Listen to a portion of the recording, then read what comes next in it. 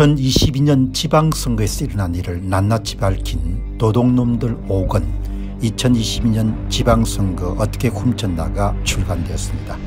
이미 발간된 도둑놈들 1권 선거 어떻게 훔쳤나 2권 2022년 대선 어떻게 훔쳤나 3권 2022년 대선 무슨 짓을 했나 4권 4.15 총선 어떻게 훔쳤나에 이어서 다섯 번째 발간된 책입니다. 여러분께서 구매해 주시고 주변에 널리 알려주셔서 선거 공정성 회복을 위해 전 국민 필독서가 될 수 있도록 힘을 대 주시기 바랍니다. 감사합니다. 안녕하십니까 공평호입니다. 여러분 이제 윤석열 대통령이 등장하고 난 다음에 1년이 지났지만 전에 권력을 잡고 있던 사람들의 비리가 그렇게 많이 쏟아져 나와도 감옥에 집어넣었다든지 그런 것이 별로 들리지 않지 않습니까 조사를 받다가 스스로 목숨을 끊었다는 그런 이야기도 들리지 않습니다. 그래서 일반화를 하자게 되면 그래도 우파 사람들은 어느 정도 양식이 있는 것이죠.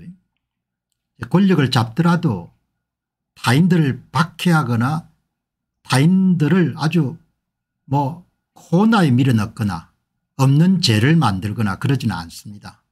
그러나 좌파 사람들은 기본적으로 뭐 한 1년 정도 문정권 하에서 이루어진 걸 보게 되면 여러 명이 생명을 끊었지 않습니까 스스로.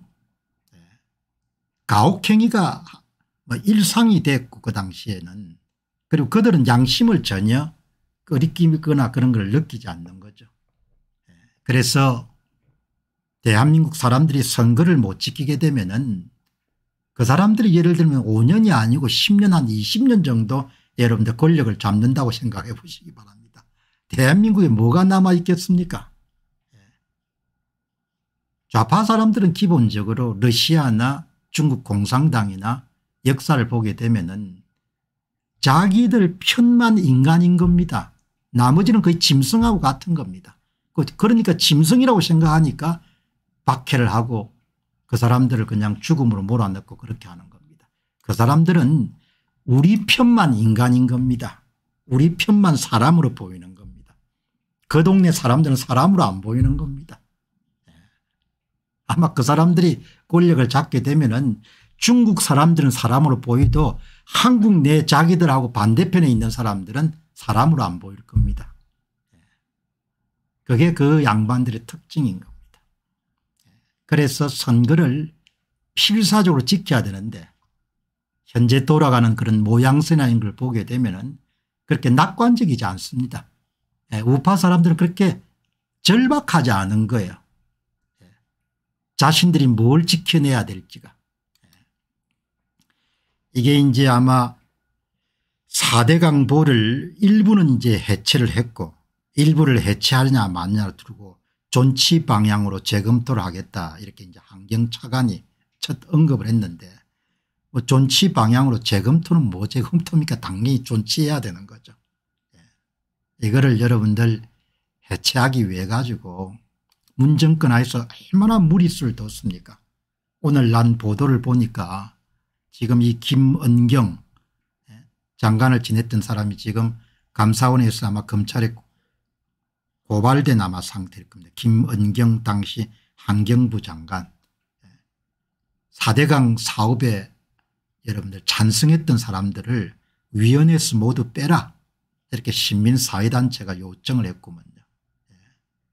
그러니까 분명히 아셔야 될 거는 그 동네 사람들은 기본적으로 뭐 양립이라든지 이런 것은 인정할 수 없는 겁니다. 제가 며칠 전에 방송에서 한번 너짓이 말씀드렸는데 제가 문정권 하에서 어느 기간에 비상근보 뭐 자리를 하나 맡고 있었습니다. 그 자리를 해서 밀어내기 위해 가지고 예, 뭐 여러 번뭐 예, 찾아왔으냐 그 양반을 그만두게 하라. 그렇게 예, 그뭐 자리가 아무 자리도 아닙니다 그렇게. 큰 자리도 아니고 민간 자리니까 그런데 뭐 거기에 이제 계시는 톱 되시는 분이 연세도 좀 있으시고 현장에서 참 여러 가지 참 산전수전을 다 겪으신 분이 돼가지고 그렇게 요청하는 사람들한테 여러 경로로 뭐 예, 그렇게 접촉을 해가지고 그만두게 하라. 그러니까 참 내가 그걸 보고 무슨 생각했는가 하니까 야, 저 양반들은 정말 양립이 안 되겠구나. 예. 그러니까 뭐 인민위원회 만들어 가지고 예. 반대편 숙정하는 것도 마찬가지로 그렇게 세상을 끌어가고 있구나 그런 생각이 든 겁니다. 예. 권력을 잡으면 이익이 많지 않습니까 그러니까 노다지 부정선거를 하는 겁니다. 예. 이 선거를 제가 지키기 위해 가지고 아무도 그런 이야기를 안 하니까 이렇게 오랜 기간 선거 부정의 실상이라든지 조작의 실상을 공개하고 정부 당국자 여러분들 그런 전향적인 자세를 촉구하는 것은 이렇게 해서 권력이 넘어가게 되면 더 이상 한국이 앞으로 재기할 수 있는 기회가 없다고 생각하기 때문에 이렇게 계속해서 목소리를 내는 겁니다. 네. 사업하는 사람들은 또 사업체가 있으니까 입을 다물고 요즘에 또 대학 교수들은 다 이렇게 교육부의 영향력 하에 있기 때문에 입을 다물어야 되지 또 연구비 그냥 수정이나 이런 부분에 불이익을 당할 거 아닙니까 예. 사회 시민단체들 중에서는 뭐 대부분이 좌파 계열들이 많으니까 뭐 어디서 제대로 목소리가 나올 수가 없는 겁니다. 예. 참이 문제가 보통 문제가 아닌데 왜 우리 편만 인간이니까 그 사람들한테는 이게 변화되지 않을 겁니다.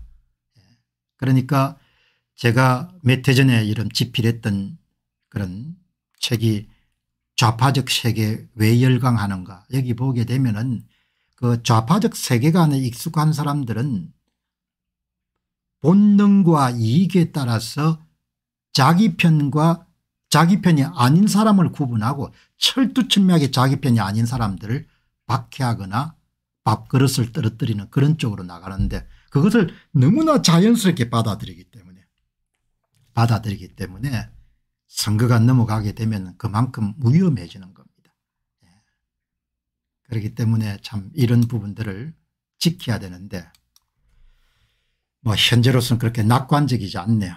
예. 아무튼 공직선거가 정상화가 돼 가지고 예. 참이 문제들이 해결될 수 있도록 그렇게 여러분이 힘을 모아주셨으면 좋겠습니다.